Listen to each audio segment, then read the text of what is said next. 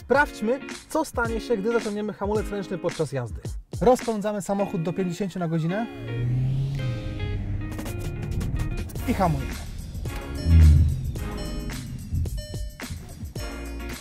Samochód bezpiecznie wyhamował.